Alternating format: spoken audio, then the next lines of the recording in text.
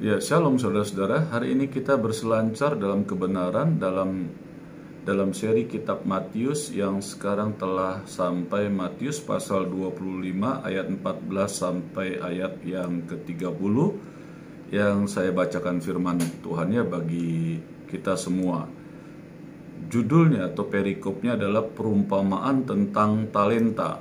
Matius pasal 25 ayat 14 sampai dengan ayat yang ke-30. Saya bacakan bagi saudara firman Tuhannya. Sebab hal kerajaan sorga sama seperti seorang yang mau bepergian ke luar negeri yang memanggil hamba-hambanya dan mempercayakan hartanya kepada mereka. Yang seorang diberikannya lima talenta, yang seorang lagi dua, dan yang seorang lain lagi satu, masing-masing menurut kesanggupannya. Lalu ia berangkat Segera pergilah hamba yang menerima talenta itu, ia menjalankan uang itu, lalu beroleh laba lima talenta. Hamba yang menerima dua talenta itu pun berbuat demikian juga dan berlaba dua talenta. Tetapi hamba yang menerima satu talenta itu pergi dan menggali lubang di dalam tanah, lalu menyembunyikan uang tuannya. Lalu sesudah itu pulanglah tuan hamba-hamba itu, lalu mengadakan perhitungan dengan mereka. Hamba yang menerima lima talenta itu datang dan ia membawa laba lima talenta. Katanya, Tuan, lima talenta Tuan percayakan kepadaku. Lihat, aku telah beroleh laba lima talenta. Maka kata tuannya itu kepadanya, Baik sekali perbuatanmu itu, hai hambaku yang baik dan setia. Engkau telah setia dalam perkara kecil. Aku akan memberikan kepadamu tanggung jawab dalam perkara yang besar. Masuklah dan turutlah dalam kebahagiaan Tuanmu Lalu datanglah hamba yang menerima dua talenta itu.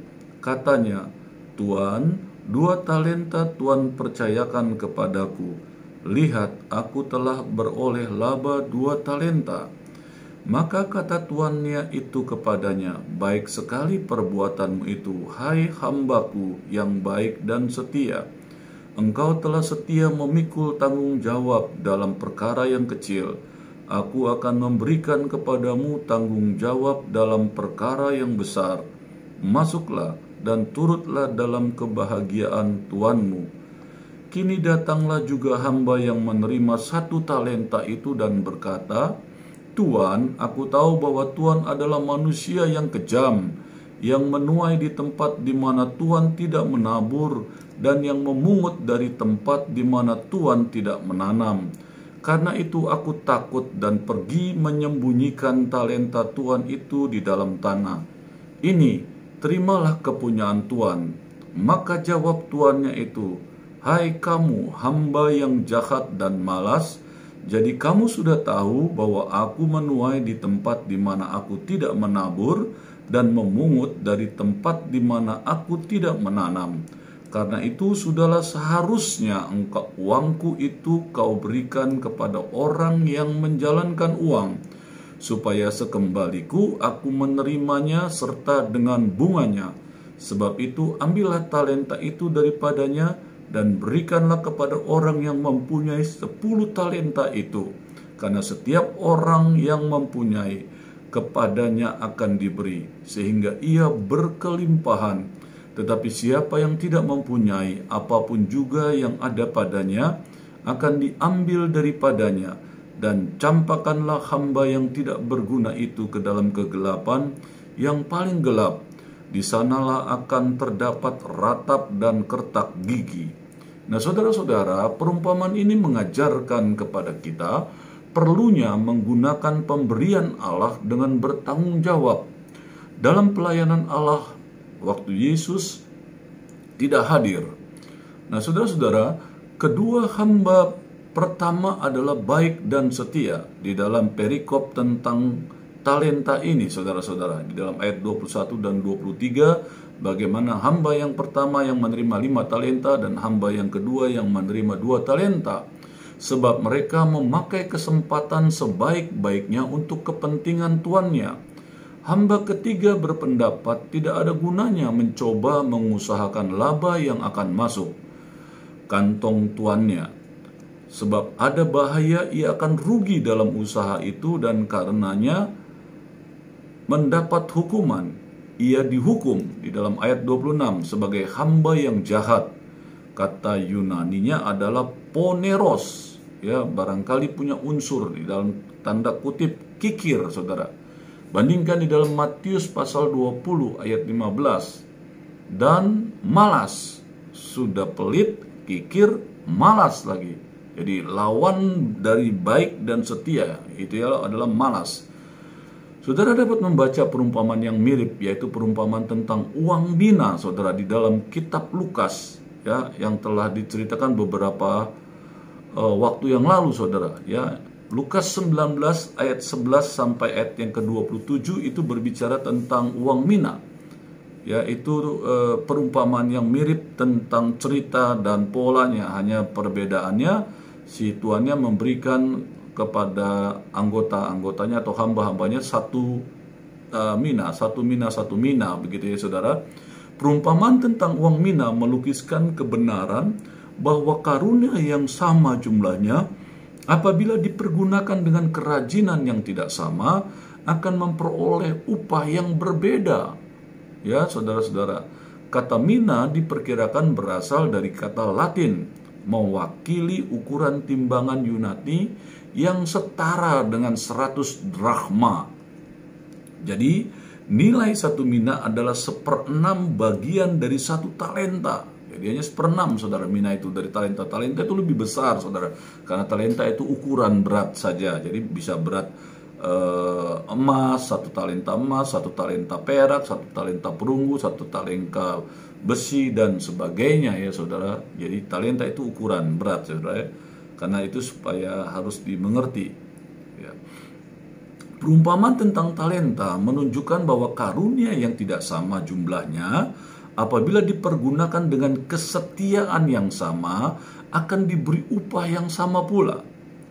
Perempuan perumpamaan sebelumnya tentang 10 gadis menekankan perlunya persiapan dengan waspada bagi kedatangan Kristus. Saudara, perumpamaan tentang talenta ini berbicara tentang tentang kedatangan Tuhan Yesus yang kedua kali. Yesus yang menceritakan, yang menjelaskan tentang perumpamaan ini untuk akhir zaman, untuk kedatangan yang kedua kali, bagaimana kita harus bersikap ya. Itu sebabnya Tuhan tuntun kita anak-anaknya yang percaya kepadanya dengan kebenaran firman Tuhan ini.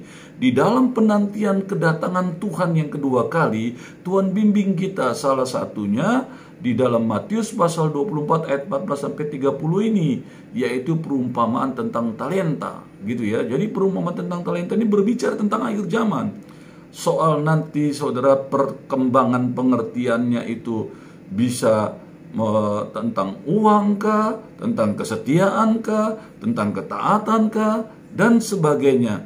Itu nanti bagaimana kebutuhan dari penjelasan hamba Tuhan kepada umat Allah dari cerita ini. Tetapi yang jelas firman Tuhan tentang perumpamaan tentang talenta ini, Yesus mengajarkan kepada murid-muridnya tentang bagaimana di akhir zaman ketika kita sedang menanti-nantikan kedatangan Tuhan.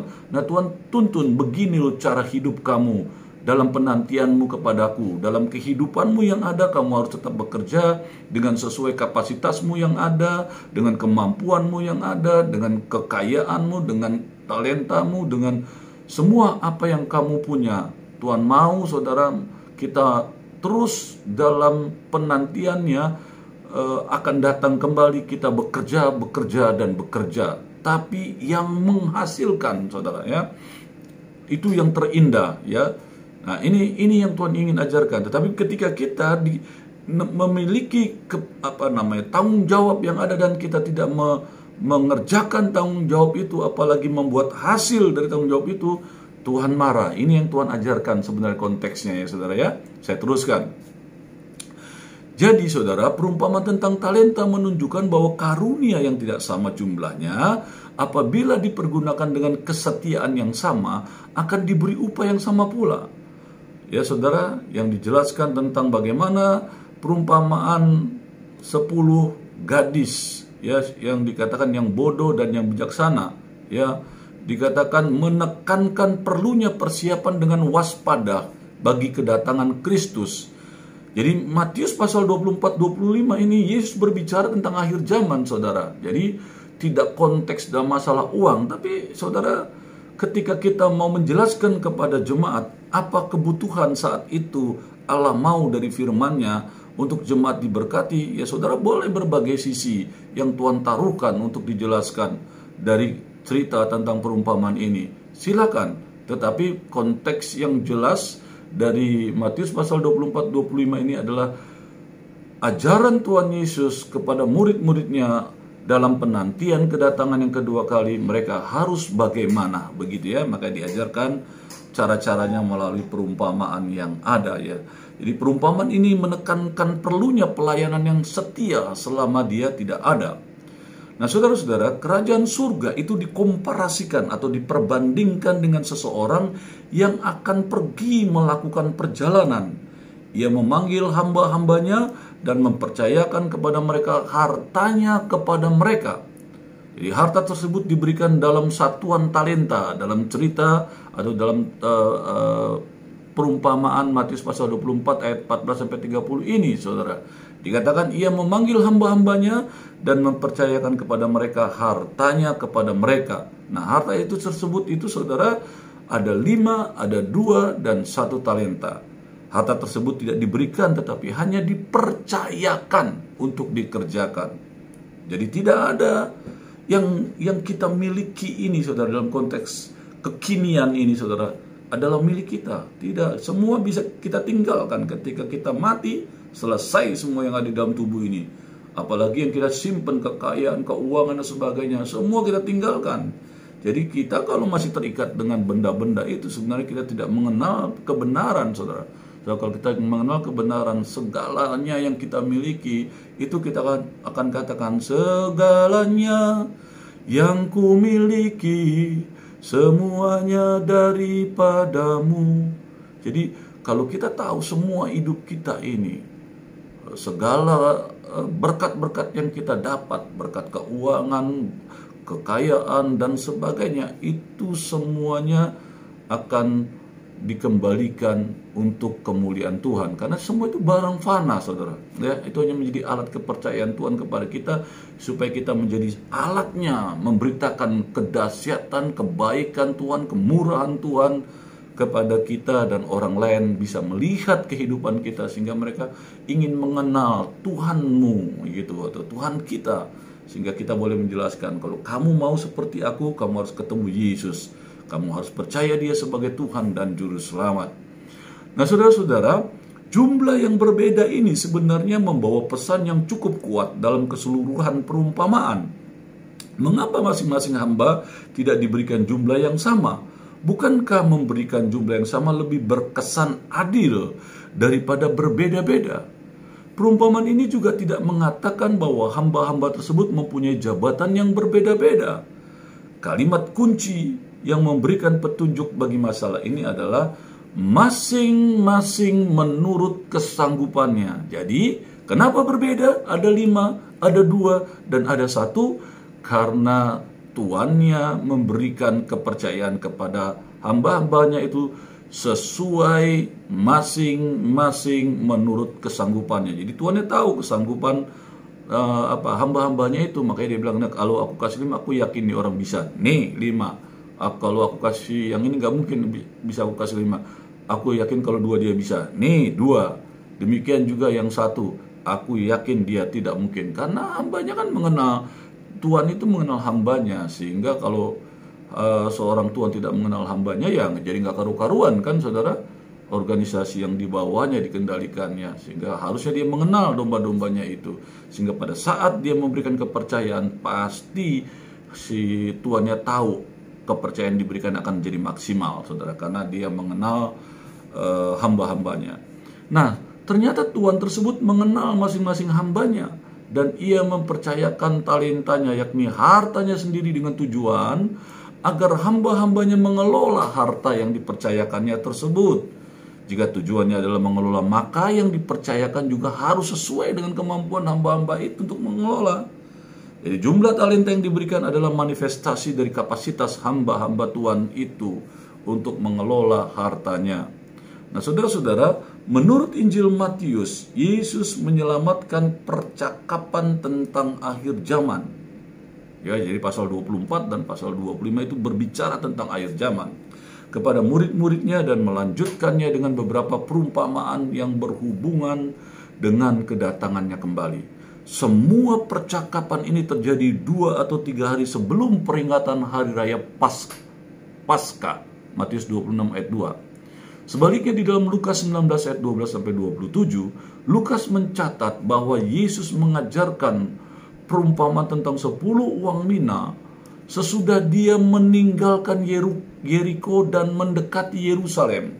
Jadi sehari sebelum atau pada hari Minggu Palem, Perumpamaan tentang uang mina ini mirip dengan perumpamaan tentang talenta. Meskipun kedua perumpamaan ini tidak identik. Karena satu uang mina, satu uang talenta, satu uh, dalam uh, dalam hitungan talenta gitu ya. Berdasarkan latar belakang dan kerangka historis yang diberikan oleh para penulis Injil, di samping jangkauan perumpamaan tersebut, kita percaya saudara bahwa Yesus mengajarkan dua perumpamaan ini dalam dua kesempatan yang berbeda. Ini yang harus kita uh, mengerti saudara. Nah saudara-saudara kita sekarang coba me, me, me, me, me, me, mendalami ayat demi ayat yang ada. Di dalam ayat 14 dikatakan bahwa si, sifat eliptis dari kalimat ini yang telah membuat para penerjemah menambahkan beberapa kata beragam pada pembukaannya saudara, menunjukkan hubungannya yang erat dengan bahan sebelumnya. Seperti seseorang yang mau bepergian ke luar negeri. Seseorang di sini jelas adalah anak manusia. Ya, di dalam ayat 31. Perumpamaan tentang talenta merupakan perumpamaan yang paling panjang di dalam Injil Matius. Di dalam bentuk yang agak rinci. Perumpamaan ini berhubungan dengan percakapan antara Tuhan dan hamba-hambanya dan perumpamaan tentang talenta ini juga mempunyai kesimpulan yang agak panjang, saudara. Yang mengikatnya dengan perumpamaan-perumpamaan lainnya, saudara. Nah, di dalam ayat 15, ya saudara, sebuah talenta adalah mata uang logam yang nilainya relatif tinggi. Pada umumnya satu talenta bernilai 60 mina atau 6000 dirham. Jadi talenta Yahudi di era perjanjian lama itu bernilai 3000 sikal kudus Talenta juga digunakan sebagai uang yang diukur dari beratnya. Jadi satu talenta perak memiliki berat sekitar 45 kg. Gede sekali saudara ya. Sedangkan satu talenta emas seberat sekitar 91 kg. Jadi menurut nilai satu talenta merujuk kepada jumlah uang yang cukup besar saudara. Kata talenta sekarang ini menunjuk saudara dalam kekinian ya saat-saat ini dikatakan menunjuk pada bakat alam. Jadi jika seseorang mempunyai talenta artistik sebagai pemain musik, penyanyi, pelukis, eh, dan sebagainya, dia akan sangat kreatif dan sangat dikagumi karena mempunyai talenta ini, saudara. Tetapi di dalam perjanjian baru, kata talenta menunjuk pada kesatuan mata uang yang menggambarkan sejumlah uang. Jadi Matius pasal 24 ayat 4 30 ini berbicara tentang uang. Ya, di dalam perumpamaan ini eh, kita berpikir berkenan dengan upah pekerja tahunan. Jumlah yang dipercayakan Tuhan kepada hamba-hambanya sangat besar, tetapi tidak luar biasa, saudara.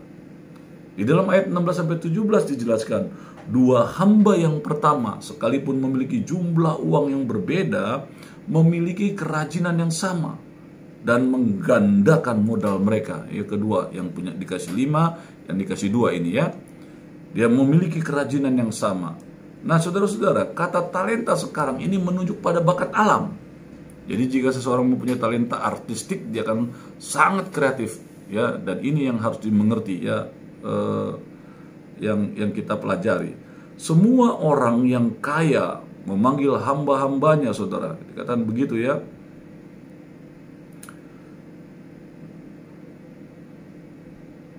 Bersama-sama dan memberitahu mereka bahwa dia akan keluar negeri untuk jangka waktu yang lama.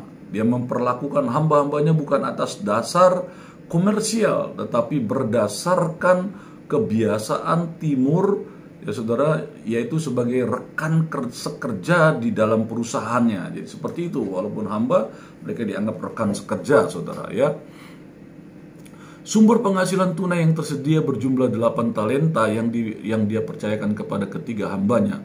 Tuhan itu mengenal hamba-hambanya dengan sangat baik, saudara. Dia telah belajar menghargai kemampuan mereka dan yakin mereka bisa dipercayai untuk mengurus kekayaannya. Dia berharap agar mereka menjalankan tuangnya sehingga sekembalinya nanti dia dapat menghargai mereka karena pekerjaan mereka meningkat ya aset keuangannya. Jadi dia memberi hamba yang pertama lima talenta, hamba yang kedua dua talenta, dan hamba yang ketiga hanya satu talenta. Tanpa ragu-ragu, saudara, kontrak disusun,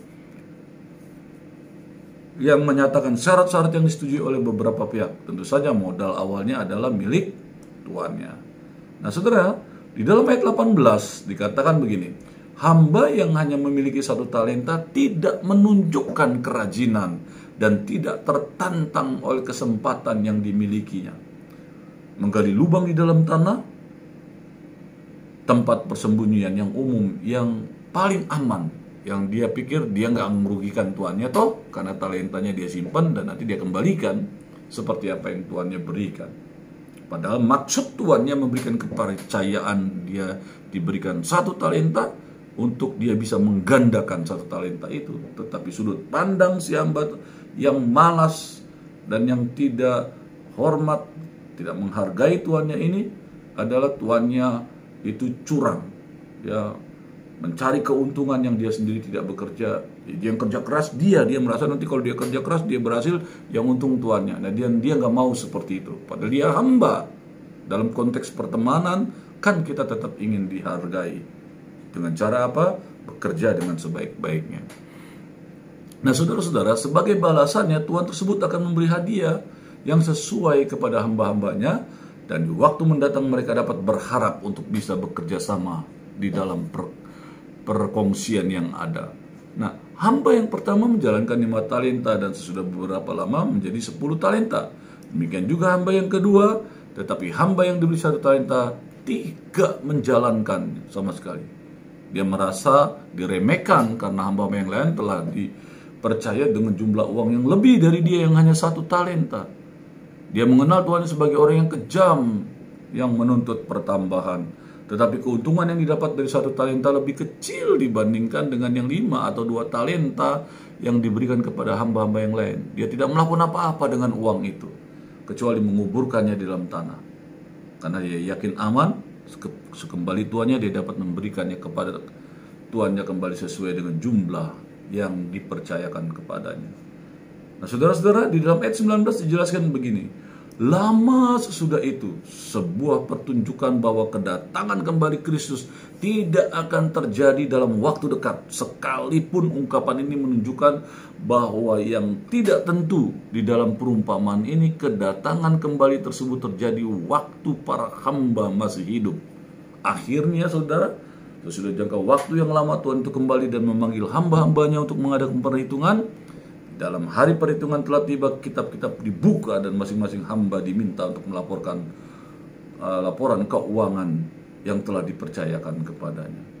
Di dalam ayat 20 sampai dengan ayat 23 dijelaskan pada saat Tuhan mereka yang datang kembali, dua hamba yang pertama menyajikan jumlah yang berbeda, tetapi keduanya berhasil meningkatkan milik mereka 100%. Ya dari 5 menjadi 10, ya sudah dari 2 menjadi 4. Gitu ya dan menerima pujian dan upahnya yang sama. Baik sekali perbuatanmu itu, hai hambaku yang baik dan setia. Kesetiaan adalah kebajikan yang sedang diuji, saudara. Aku akan memberikan kepadamu tanggung jawab dalam perkara yang besar. Kita sebagai Tuhan akan tahu bawahan kita. dia sanggup atau tidak melakukan pekerjaan yang akan kita percayakan sehingga sesuai dengan kapasitasnya kita berikan kepercayaan. Nah, kalau dia sungguh-sungguh menjalankannya, kita pasti akan memberikan benefit atau bonus atau tambahan-tambahan yang di luar apa yang telah dia lakukan. Begitu. Karena itu Tuhan Yesus mengajarkan demikian. Aku memberikan kepadamu tanggung jawab dalam perkara yang besar. Jadi sebagian dari upah terdiri atas penerimaan tanggung jawab dan kehormatan yang lebih besar dari Tuhan mereka. Dikatakan masuklah dan turutlah dalam kebahagiaan atau sukacita Tuhan. Mungkin sebuah acuan kepada orang percaya yang berbagi sukacita dengan Kristus, yakni sukacita itu miliknya karena ia melaksanakan kehendak Bapa dengan sempurna, Saudara. Di dalam ayat 20 sampai 23 dikatakan, hamba yang pertama datang bukan hanya dengan lima talenta yang dia terima, tetapi juga dengan lima yang dihasilkan. Dia mengembalikan kepada tuannya jumlah dan modal dengan juga keuntungannya. Saudara, dia memberi tuannya sejumlah besar uang. Hal itu menyatakan bahwa tanpa keraguan sedikit pun dia patut diberi kepercayaan oleh tuannya yang lebih baik lagi, lebih besar lagi. Dia tidak meminta perhatian untuk dirinya sendiri, tetapi dia hanya meminta Tuhan yang memperhatikan tambahan lima talenta yang dihasilkannya. Respon Tuhan itu jelas, saudara atas kesetiaan dan ketekunan dari hambanya ini. Tuhan itu murah hati di dalam pujiannya dan memberi hadiah kepada hamba itu. Pertama, Tuhan itu berseru, baik sekali di dalam pujiannya terdapat perbuatan hamba yang sangat baik. Yang kedua, dia menyebutnya hamba yang baik dan setia. Yang ketiga, dia memberikan hambanya tanggung jawab dalam banyak hal. Jadi saudara, setelah saudara apa namanya diberikan talenta, saudara ternyata mengerjakannya, mengusahakannya menjadi bertambah dari lima menjadi sepuluh dan ketika dia berhasil memberikan laporan kepada tuannya, saudara tahu orang yang berhasil, orang yang berlipat ganda, orang yang diberkati dikatakan akan semakin banyak yang harus dikerjakan atau yang dipercayakan untuk dia kerjakan lagi kamu berhasil ini, kamu akan diberikan lagi hasil yang lain yang lebih berat lagi tanggung jawabnya. Karena kamu yang ini sudah berhasil, perkara kecil sudah berhasil, kamu dipercayakan kembali perkara yang besar. Nah, itu yang terjadi. Jadi dia tidak meminta perhatian untuk dirinya sendiri, tetapi dia hanya meminta Tuhan yang memperhatikan tambahan lima talenta. Respon Tuhan itu juga demikian, saudara. Ya, jadi cocok sekali.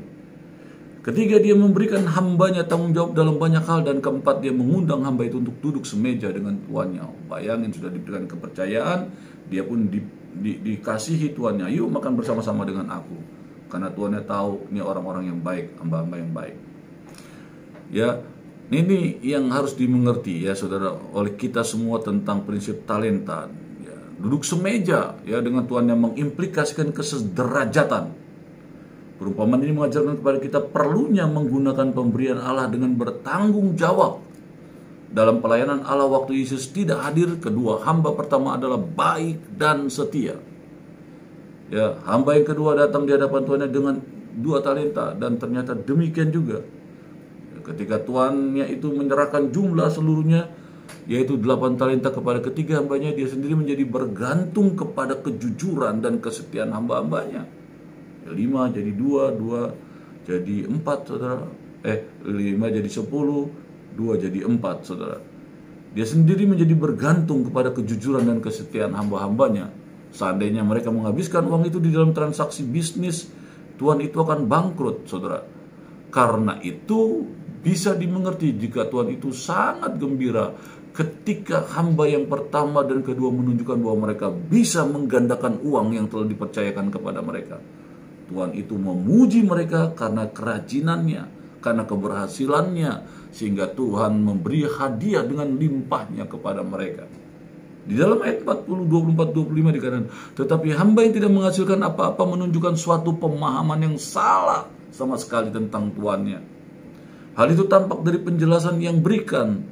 Tuhan itu manusia yang kejam, keras, dan tidak berperi kemanusiaan Menuai di tempat di mana Tuhan tidak menabur, itu saudara yang yang dia, yang dia koreksi ke Mengambil keuntungan dari hasil jeripaya orang lain.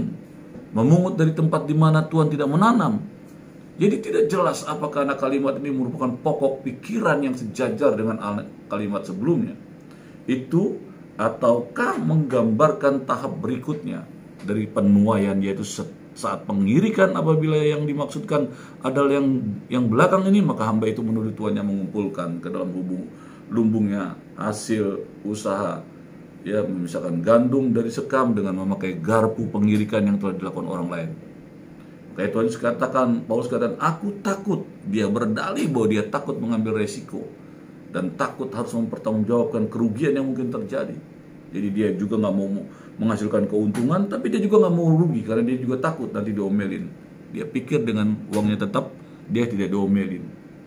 Saudara, dia berdalih bahwa dia akan takut mengambil resiko, saudara. Nah, hamba ini buta terhadap penyataan bahwa Tuhan yang merupakan Tuhan yang murah hati dan mengasihi yang ingin ia ikut menikmati kebahagiaan.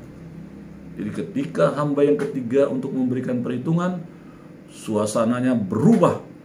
Bukannya mengembalikan uang yang dipercayakan kepadanya, seperti yang, yang dilakukan temannya sesama hamba Tuhan yang pertama dan yang kedua itu, dia tidak memuji Tuhan karena kemurahan hati yang telah ditunjukkan kepada kedua hambanya tetapi dia menggambarkan tuannya sebagai orang yang kejam yang menuai di mana dia tidak menabur dan memungut di tempat di mana dia tidak menabur. Karena itu hamba itu takut menanggung resiko. Dia menggali lubang di dalam tanah dan menguburkan uangnya seolah-olah dia mengatakan kepada tuannya, "Mengapa Tuhan tidak percaya sepenuhnya kepada saya dengan hanya memberi saya satu talenta? Apa yang saya lakukan dengan uang ini?" Mengingat bahwa jika ada keuntungan saya tidak akan melihat jumlah yang banyak untuk membalas perlakuanmu. Maka saya memutuskan untuk tidak melakukan apa pun dengan uang itu. Waduh. Perkataannya ditandai dengan kontradiksi saudara. Dia gagal memahami kebaikan tuannya tetapi memandangnya berdasarkan sifat yang iri dan egois. Dia merasa diremehkan tetapi dalam perkataannya sendiri dia mengatakan bahwa dia takut menjalankan uang itu. Ia tidak menggunakan talenta itu untuk mendapatkan keuntungan tetapi kelihatannya dia hanya membuat argumentasi supaya dia aman, tidak ditegur karena dia tidak melakukan pekerjaannya dengan baik. Dia ingin menyampaikan sebuah pesan bahwa dia tidak menghilangkan semua atau sebagian uangnya. Sebenarnya tidak merugikan, tetapi bukan itu tujuan tuannya memberikan talenta. Ya, jadi perkataannya ditandai dengan kontradiksi, dia gagal memahami kebaikan tuannya. Secara eksplisit dia mengatakan bahwa talenta itu milik tuannya. Dia telah menyimpannya dengan aman dan nih gue pulangin. Begitu ya saudara. Jadi kamu sudah tahu kata Tuhan ya kepada uh, hambanya yang malas ini ya saudara. Jadi mungkin harus dianggap sebagai pertanyaan adalah tepat sebagai kalimat bertanya.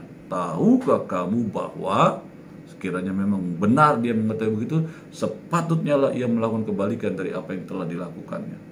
Tanpa mengakui kebenaran dari pandangan ini, Tuhan itu menilai si hamba berdasarkan dalih yang digunakan untuk menunjuk kerendahan hati, eh, kerendahan sikap semacam itu, saudara ya.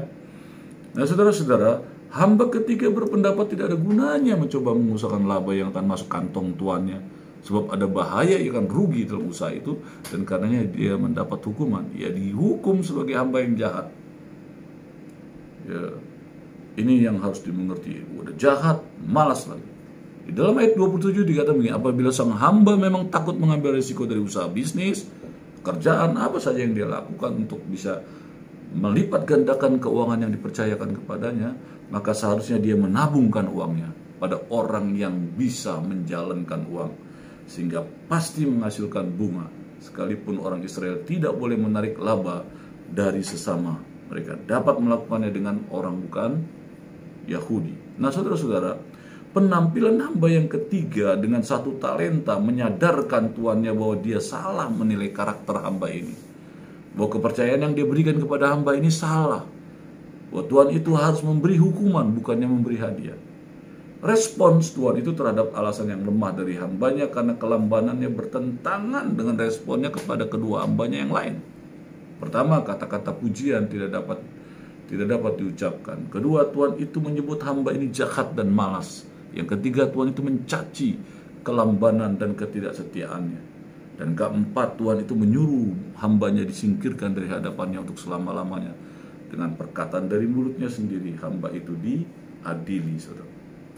Karena itu talenta di tangan hamba yang malas dan pemberontak ini diambil kembali dan diberikan kepada hamba yang paling mampu memanfaatkan. Karena itu yang Tuhan ajarkan.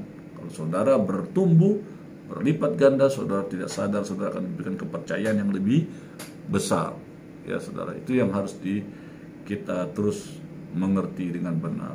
Karena itu talenta di tangan hamba yang malas dan pemberontak ini diambil kembali dan diberikan kepada hamba yang paling mampu memanfaatkan. Jika dia membawa talenta itu ke bank, Tuhan itu akan memintanya kembali beserta dengan bunganya. Sekarang Tuhan itu tertuju pada hambanya dan berusaha mendapatkan apa yang sudah menjadi haknya, yaitu peningkatan hasil yang diharapkan. Tetapi siapa yang tidak mempunyai apa pun juga yang ada padanya akan diambil daripadanya. Karena itu Tuhan tersebut mau mengambil milik hambanya hamba itu tidak berguna bagi Tuhan. Dia dibuang ke dalam kegelapan menurut perkataan Yesus yang terkenal. Di sanalah akan terdapat ratap dan kertak gigi. Di dalam ayat 30 dijelaskan, camkanlah hamba yang tidak berguna itu ke dalam ke maksud campakkanlah hamba yang tidak berguna itu ke dalam kegelapan yang gelap, ratap dan kertak gigi dengan jelas menunjukkan bahwa yang dilambangkan adalah hukuman abadi Ya, di sinilah letak inti penafsiran bagian ini. Hamba yang tidak menghasilkan apa-apa itu melambangkan orang Kristen yang hanya mengaku saja, namun tidak pernah menggunakan kemampuannya untuk bekerja demi kelebaran kerajaan sorga. Nah, saudara saya bacakan Lukas pasal 19 ayat 11 sampai 27. Anda dapat membaca ya perumpamaan yang mirip ini, ya, yaitu perumpamaan tentang uang mina yang telah diceritakan sebelumnya, saudara. Nah, saudara, talenta itu bukan uang logam, melainkan ukuran berat, seperti yang tadi saya sudah jelaskan. Karena itu nilainya jelas, tergantung pada bahan dari uang talenta itu, saudara. Entah tembaga, entah emas, atau perak. Atas dasar ini kita telah menerjemahkan talenta ke berbagai nilai. Ya, yang tadi sudah dijelaskan, satu talenta setara dengan 34 kilo jadi satu talenta emas tentu saja berbeda nilainya, nilainya dengan satu talenta perak. Jadi nilainya sangat tergantung pada jenis logam apa yang ditimbang tersebut. Konversi talenta ke mata uang juga sangat beragam dari waktu ke waktu dan dari suatu tempat ke tempat yang lain. Beberapa ahli memperkirakan dalam konteks ini jumlah 521 talenta sama dengan 50 ribu, 20 ribu, dan 10 ribu dinar. Seperti itu saudara levelnya. Tinggi sekali talenta itu nilainya. Jadi nilai terendah satu talenta dari uang yang dipercayakan Tuhan itu kepada hamba-hambanya sama dengan jumlah uang yang dihasilkan dari hasil kerja selama 10 ribu hari. Ya saudara, tidak upah kerja sehari sekarang ini dianggap 50 ribu maka nilai satu talenta sama dengan 500 juta atau setengah miliar. Suatu jumlah angka yang tidak sedikit untuk memulai suatu usaha. Nah saudara-saudara, dari makna perumpamaan ini, saudara, dari dari perumpamaan ini kita mendapatkan maknanya. Perumpamaan dalam Alkitab tidak boleh ditafsirkan secara alegoris, saudara. Penafsiran alegoris adalah suatu metode penafsiran dengan memberikan makna pada masing-masing unsur dalam perumpamaan. Metode penafsiran ini tidak bisa dipertanggungjawabkan secara rohani karena tidak ada kriteria dalam memberikan makna pada unsur-unsur tersebut. Karena itu talenta tidak boleh dimaknai sebagai karunia rohani uang, waktu, harta, dan sebagainya. Karena makna perumpamaan berada dalam karakter. Pesan apa yang disampaikan oleh karakter yang ada, sejumlah talenta yang dipercayakan ini bukanlah berbicara mengenai uang atau harta semata-mata, melainkan tentang kesetiaan dalam kepercayaan, dalam kepelayanan hamba-hamba tersebut kepada Tuhan mereka. Nah, saudara-saudara, pesan perumpamaan secara keseluruhan adalah berbuah dan bertanggung jawab. Ada semua yang Tuhan percayakan kepada kita di hari-hari ini, saudara. Kemampuan, keuangan, dan sebagainya. Semuanya itu Allah berikan supaya orang-orang percaya menggunakannya sebaik mungkin bagi kemuliaan Allah. Nah, saudara-saudara, konsep talenta ini seharusnya membuat orang-orang percaya tidak saling cemburu. Karena beberapa orang yang mengerjakan banyak perkara yang besar sementara sebagian lagi hanya mengerjakan pekerjaan yang sederhana Sebagian orang Kristen diberikan karunia yang luar biasa sehingga mereka dapat melakukan banyak hal dengan sangat baik untuk kerajaan sorga. Tetapi sebagian lagi hanya bisa mengerjakan sedikit. Tuhan selalu memberikan pelayanan berdasarkan kemampuan atau kapasitas orang-orang tersebut. Ya saudara, untuk mengerjakannya dengan maksimal, dengan baik. Karena oleh karena itu saudara orang yang dipercayakan banyak dipercayakan banyak harus bekerja lebih keras dan orang yang dipercayakan hanya sedikit tidak boleh merasa diri kecil. Setiap orang yang memiliki bagiannya sendiri-sendiri karena seti, itu setiap orang percaya harus mengumpulkan apa yang menjadi bagiannya dan yang mengerjakannya dengan setia setiap waktu sampai waktu yang dipercayakan itu selesai berselancar dalam kebenaran. Amin.